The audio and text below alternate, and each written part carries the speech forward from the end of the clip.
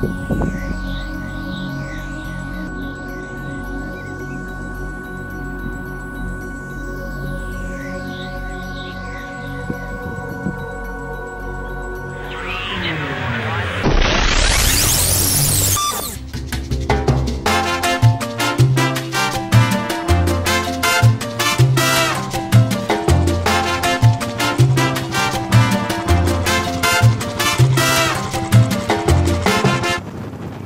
Everybody, it's the 8th of January 2024, my first ride of the year up the Llanberis Pass.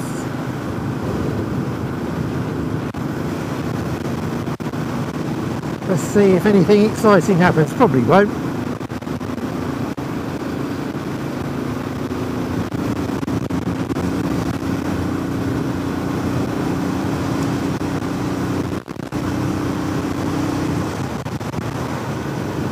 It's ages since I've been out on the uh, bullet, so I'm giving it a bit of a run today. I don't know if you can hear me, there's a lot of wind noise.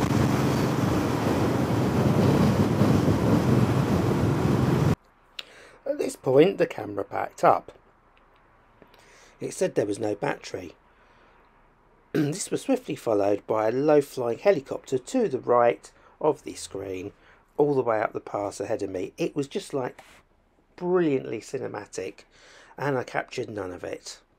I was absolutely gutted. Not a good start. Still, hopefully you'll now be able to join me as we hit the Denbigh Moors. Lovely day for a ride in freezing conditions. I'm not quite sure why it is that the camera decided it didn't want to play ball because it was all pam wired in, plumbed in I was going to say, uh, it was all wired in through a power bank. For some reason it just didn't seem to be uh, taking the charge, which is a bit ironic because I swapped over to my GoPro and yeah, it was running off the uh, power bank. They will run together, but for some reason it didn't on this occasion. So I've swapped over to the GoPro at this point. This is the Evo Triangle. We are climbing up the Evo Triangle. It's January 2024, as I said. And for those of you that don't know, the Evo Triangle was named by uh, Evo magazine in the UK, and they used it for testing their high-level sports cars. And they chose it because it gave a nice variety of some straight roads and some nice sweeping bends and good views and they could have a damn good thrash.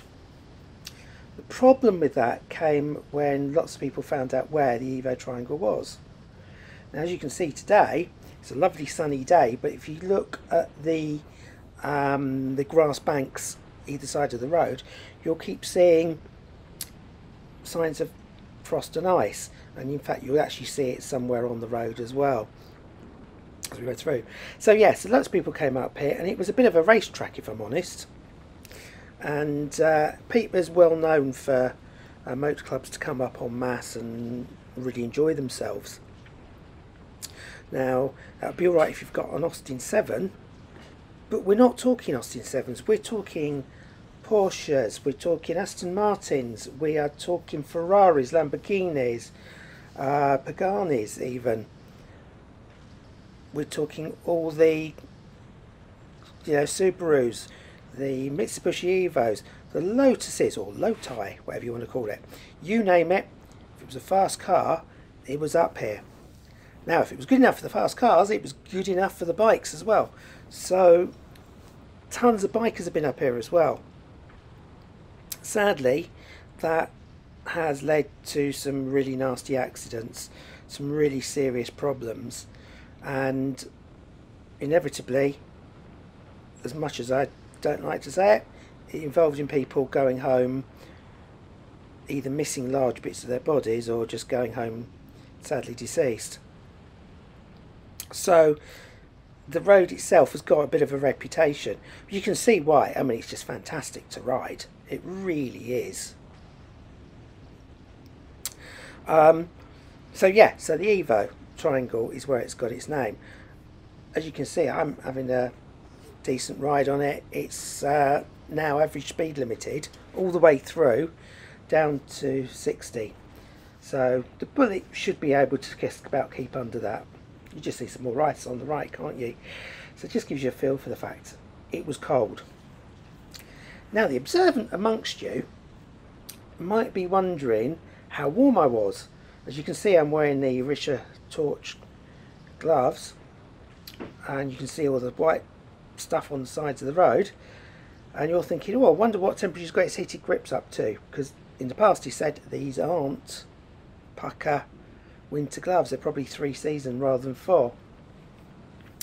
And uh, I don't run heated grips on the bullet. So I was riding just like that. Oh look there's some of the average speed camera on the right hand side just past it. And so yeah so I was riding with that. I'll let you know a little bit more about my thoughts about those in a moment. Because we're coming to an interesting place here. As we come around the corner we'll be then bending to the right and you can see there's a building ahead of us. And that building is the Sportsman's Arms the highest pub in Wales. Uh, those of you that read Adventure Bike Rider magazine there was a past um, edition whatever you want to call it uh, of of that magazine had a tour of the three biggest or three highest pubs in mainland Great Britain. And so uh, yeah that was featured as one of them. And the reason I mention that is do be careful if you do decide to go there. Oh, there's a lot of grit on that road and oh look some ice lovely. Um, TKC 80's gone through that well. Uh, yeah do be careful if you're going to choose to go into the pub. It has have limited opening hours and so just as a forewarning for you now the Evo triangle goes off to the right, we're going to carry straight on towards Denbigh. Now for those of you that are interested, there's quite a nice lane up here on the left. Uh, it's actually the second lane that I like off on the left.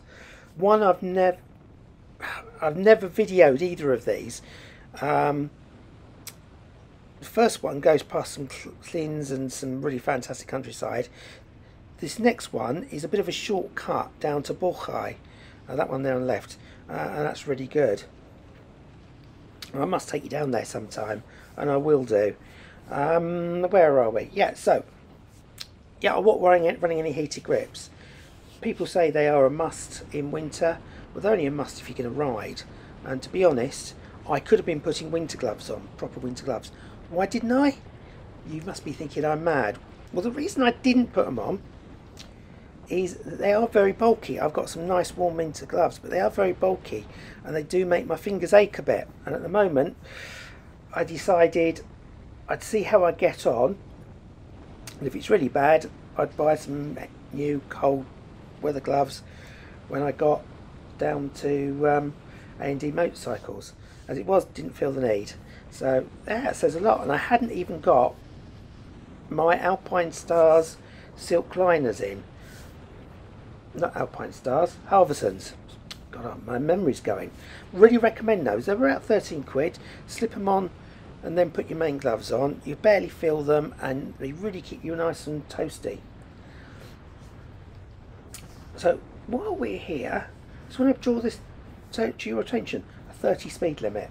So there you go, just to prove to you that all these people won't keep waffling on about some blanket 20 mile an hour speed limit. They're talking complete and utter um, rubbish. Uh, but there you go. Um, coming up was an interesting sign actually. Um, for those of you that might be interested if you're in the market for a new pet um, just keep your eyes peeled. Left hand side of the road. Uh, coming up I think it's at the top of this hill actually I could be wrong. Oh no, no, it's coming up here. Keep your eyes peeled on the left. Here we go, big white square. Limo booze for sale. Now, I think they mean limousine, um, but all I could think of was limousine. And uh, I just couldn't help but laugh at the thought of a bull with a body that's about 13 foot extra long length in it and yeah would it sag in the middle anyway that was just my infantile thinking so yeah how did those gloves perform bearing in mind it's about freezing just above freezing I wasn't hot I would never just say they were warm and toasty. I wasn't perfectly comfortable, but I was okay. Certainly didn't get any numbness, I was just cold. So for a glove that I wouldn't call a proper winter glove, it did surprisingly well. So thumbs up to me for the Richa, Richa Torch gloves. Performed better than I expected. Anyway, here's a thing. Something's been rattling my brains for the last couple of weeks, really getting on my nerves, has been car adverts. You see so much advertising of cars at the moment on telly. Yet when you want to buy one you can't get what you want because they haven't got any, but they're still advertising them. Well, you can only get what we've got, etc, etc. And then they try and tell you the car's wonderful, but they don't actually tell you why it's wonderful. It's just great because it's got an electric tailgate or some other such way adding unnecessary complexity. But in the adverts, they look for the number plates, and if you're like me and a bit sad, you'll spot the number plates are always symmetrical, uh, so that they the letters can be reversed. Uh, this is Denbigh, by the way. So it just makes the TV advertising slightly cheaper for them. So they can make it look like you're driving on the left or on the right. Hey presto, the car number plate will always be readable. Uh, a bit sad. This is Denbigh uh, town centre. I just thought I'd run that through just so you can get a look for it. It's quite a pretty little place, is Denbigh. Uh, this is, of course, is all this sort of area we've been riding on. This is all sorts of the hunting ground of Myers Motorcycle Adventures and Dick Whistles. So uh, I did keep an eye open for people, but I didn't really see many people about that day. Probably because, you know, only an idiot would be out. Anyway, so that's the first run out for the Bullet for 2024. It's now got TKC 80s front and rear. How did it handle it? Really surprisingly well. I wasn't looking forward to it. Returning back, it was colder and it was a bit icy. There were a couple of very, very small twitches and it, it but it wasn't anything to be concerned about. I was really shocked at just how well they performed on tarmac. So top marks for them too. Sorry it's not the greatest of videos, but I just wanted to give the bullet a bit of an airing and I hope you've enjoyed just seeing what Wales is like in the middle of winter. Ride safe, look after yourselves, and I'll see you in the next one. Bye for now.